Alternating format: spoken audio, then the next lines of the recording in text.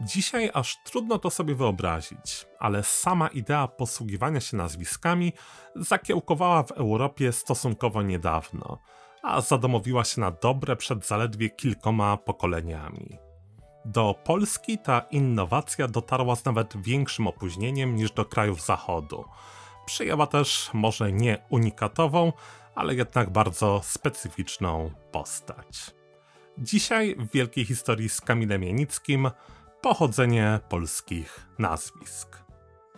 Oczywiście już od starożytności zdawano sobie sprawę, że jedno imię nie zawsze wystarcza do wyszczególnienia osoby, zwłaszcza jeśli jest to imię popularne w danym miejscu i czasie. Używano więc przezwisk tworzonych od cech fizycznych, walorów umysłowych, wykonywanego zawodu albo miejsca pochodzenia. Adam, który pracował jako kowal, był nazywany, a jakże, kowalem. Szymon, który się jąkał, mógł być jąkałą, chyba że bardziej zwracano uwagę na przykład na jego tusze i stawał się tęgim. Takie przydomki łatwo ulegały zmianie. Na przykład jeśli ktoś porzucił zajęcie, to tracił też związane z nim określenie. A jeśli popadł w starcze otępienie, nie nazywano go nadal chociażby mądralą. Z wielu przezwisk, nadawanych żartobliwie za młodu, po prostu wyrastano. Inne przylepiały się do człowieka tylko jeśli zdołał dotrwać sędziwego wieku. Względnie rzadko zdarzało się dziedziczenie przydomków. Ojciec mógł być przecież chudy, ale jego syn już niekoniecznie. Nieco bardziej stabilne były tak zwane imiona odojcowskie. Wojciecha syna Jana przez całe życie dało się nazywać Janowicem, ale już jego syn zmieniał miano na Wojciechowica. Nazwiska różniły się od przezwisk tym, że przyjmowano je na stałe, posługiwano się nimi oficjalnie, przede wszystkim zaś przekazywano je z pokolenia na pokolenie. Każdy syn Müllera był Müllerem, czy tego chciał, czy nie. Najwcześniej nazwiska zaczęły się pojawiać na ziemiach karolińskich. Działo się to około 800 roku. Do dzisiaj nie wyjaśniono przekonująco, co stało u podstaw zjawiska. Po części pewnie wzrost liczby ludności, po części kurczący się zasób imion, bo Kościół nakazywał chrzcić dzieci tylko na pamiątkę świętych. Rolę odegrała też chyba narastająca dbałość o utrzymanie więzi rodzinnych. Jak podkreślał znawca tematu profesor Józef Matuszewski, bez dziedzicznych nazwisk trudno było śledzić genealogię i dbać o zachowanie pamięci o przodkach. Wreszcie znaczenie, jak w każdej innej dziedzinie, odgrywała i moda. Do Polski nazwiska dotarły ze sporym opóźnieniem.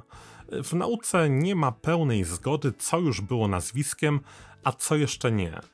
Można jednak ostrożnie stwierdzić, że pierwsze, nieliczne, ale już ustabilizowane nazwiska były notowane około 1400 roku. Na prawdziwie szeroką skalę weszły one zaś do użycia na początku epoki nowożytnej w wieku XVI. Przez długi czas nazwiska uważano za dodatkową, obok herbu, odpowiedniego stroju czy zawołania rodowego, oznakę przynależności do elity. Nazwiskami posługiwali się szlachcice, ale niemal nikt poza nimi. Potem jednak wypadki poczęły podążać przewidywalnym torem. Nazwiska były hołubione, widziano w nich wyznacznik statusu. Ponieważ zaś nie istniał i w polskich warunkach nie mógł istnieć formalny zakaz ich używania, stopniowo zaczęli je przyjmować też członkowie niższych stanów. U schyłku XVI stulecia już niemal wszyscy szlachcice posiadali ustalone, stabilne nazwiska. Zaniknęły wcześniej częste przypadki, gdy jeden herbownik posługiwał się kilkoma etykietami, albo gdy nazwisko zmieniało się z pokolenia na pokolenie. W wieku XVII nazwiska upowszechniły się wśród mieszczaństwa, najpierw najbogatszego, potem nawet u brukowej biedoty. Na wsiach proces przebiegał z większym opóźnieniem. W wielu regionach kraju chłopi przyjęli nazwiska dopiero w wieku XVIII albo i później. Cały proces od powstania pierwszych polskich nazwisk do objęcia tak zwaną dwuimiennością ogółu społeczeństwa zajął sporo ponad 400 lat. Zakończono go pod zaborami, gdy nowe władze wydawały nakazy, zgodnie z którymi każdy człowiek miał obowiązek przyjąć stałe, niezmienne nazwisko. To wówczas, jak wyjaśniał językoznawca Kazimierz Rymut, nazwiska wcześniej stanowiące element obyczaju stały się zjawiskiem prawnym. Najbardziej typowe nazwiska szlacheckie powstawały od nazw posiadanych dóbr, miejscowości. O ich historii, znaczeniach i ewolucji opowiadałem już szerzej w osobnym odcinku. Tutaj ograniczę się więc do stwierdzenia, że w XVI wieku wykształciła się na dobre moda, zgodnie z którą za najbardziej dumne i elitarne uważano nazwiska zakończone na ski lub cki. Z badań prowadzonych przez Zofię Kaletę wynika, że przed rokiem 1600 takich właśnie form używało już niemal 85% wszystkich szlachciców.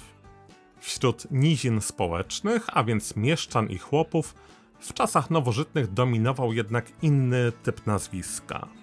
Z wszelkich badań w temacie wynika, że jeśli plebejusze w ogóle używali nazwisk, to z reguły były to tak zwane nazwiska odapelatywne. Mówiąc prościej, chodzi o określenia brane od przezwisk czy zawołań.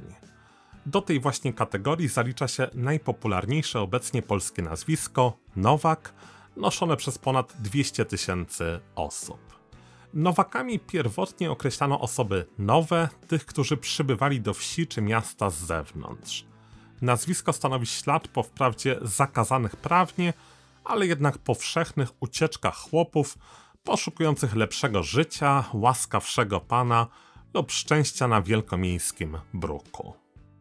Wśród plebejuszy nazwiska najczęściej stanowiły owoc opinii. Nie wybierano ich sobie rozmyślnie, ale przylepiały się one do ludzi i rodzin za sprawą sąsiadów. To pozwala zrozumieć, dlaczego wiele nazwisk miało charakter czy to żartobliwy, czy prześmiewczy, czy nawet wprost obraźliwy.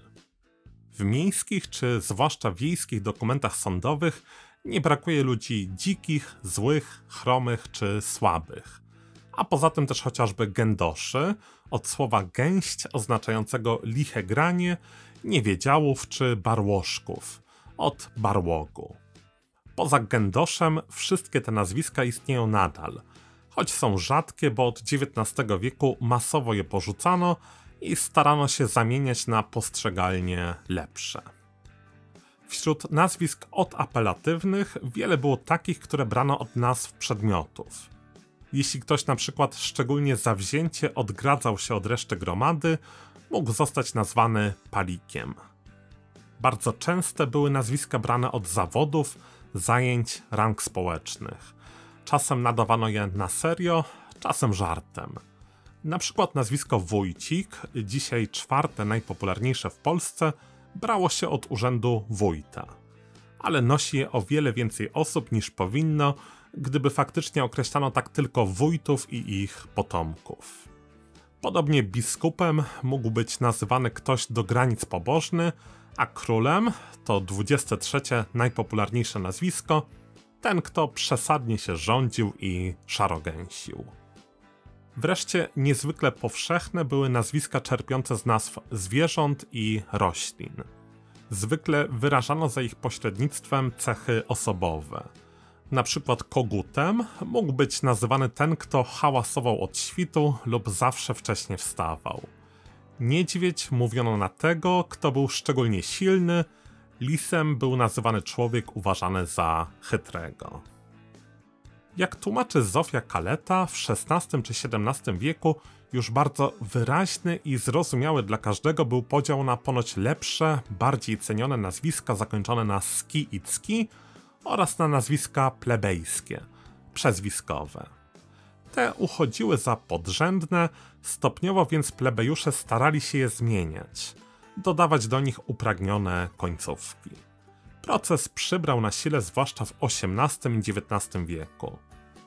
W efekcie nazwisko Kowal i tak całkiem zacne, bo świadczące o wykonywaniu jednego z najważniejszych zajęć na wsi, zaczęto masowo przekształcać na formę Kowalski. Dzisiaj to drugie najpopularniejsze nazwisko w Polsce. Nosi je ponad 135 tysięcy osób. Na miejscu piątym w rankingu jest też pokrewna forma Kowalczyk. Podobnie większość wiśniewskich, których obecnie jest 108 tysięcy, wzięło się nie od nazwy posiadanych dóbr, jak Wiśnicz czy Wiśniewa, ale od miejsca zamieszkania, albo po prostu od drzewa czy owocu wiśni. Powszechność tej pogoni za rzekomo ładniejszymi i bardziej dumnymi nazwiskami sprawiła, że obecnie wyraźna większość najpopularniejszych nazwisk w Polsce kończy się na ski lub ski. Ewa Wolnicz-Pawłowska wyliczyła swego czasu, że w pierwszej setce najczęściej używanych nazwisk 64% to formy przynajmniej pozornie odmiejscowe, zwykle zakończone na ski-cki. 20% to nazwiska odojcowskie, tak zwane patronimiki, a więc na przykład Pawlak czy Adamczyk. Wreszcie 15% to nazwiska przezwiskowe, zaś 1% nazwiska obce. Jeśli macie pytanie o konkretne nazwisko, jego pochodzenie i znaczenie, zadajcie je w komentarzach. Postaram się odpowiedzieć na każde. A jeśli ten odcinek wydał Wam się wartościowy, polubcie go proszę, no i zasubskrybujcie mój kanał.